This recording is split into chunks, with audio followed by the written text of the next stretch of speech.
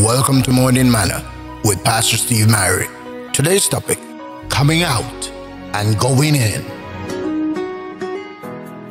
Do not give the devil a foothold. Ephesians 4 27. Before God's people escaped out of Egypt, Pharaoh made them three offers. To each, Moses said no, or they never made it out. First, Pharaoh said, Go, but leave your children here.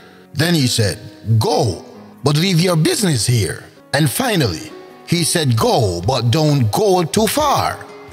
Listen to how Moses replied, There shall not be a hoof be left behind.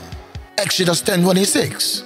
And that's what you've got to do to look the enemy in his eye and say, No, I'm taking my family, I'm taking my business, and I'm going all the way with God. That's what it takes to get out of Egypt. But what about getting into the promised land? That only happens one city at a time, one habit at a time, one attitude at a time, one step of faith at a time.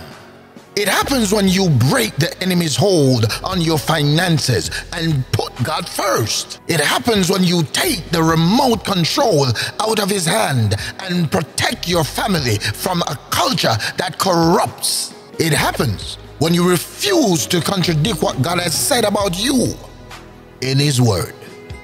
The thought of today rise up in your faith today and announce, I'm coming out and I'm going in. God bless you today. In Jesus' name. Please remember to like and subscribe to my page on YouTube. Your support is much appreciated. Waymaker, promise light in the darkness.